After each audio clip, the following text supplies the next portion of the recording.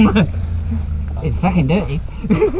I got my best down pants there for on. about, down there for about two hours on my own the other week, not a Fucking fucking soul there. It's fun, isn't it? Shits and giggles. I was using that, see that fucking hill there? Yeah. I jumped through there and I'd done it the other week about four times, it was mint, and I've just done it then, it was a branch and so I ducked down and bang! Like, What I'll do is I'll go and park up there and I've got the GoPro. I think it's still running at that time. And as you get to, how wide does mine jump through there? AI, get up Aye. AI.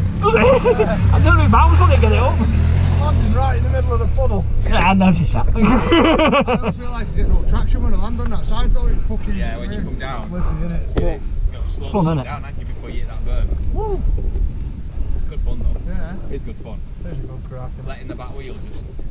I didn't, I Drift didn't know about. where to go on my own, on my own for for three or four weeks, I didn't know to go. I can't come up there.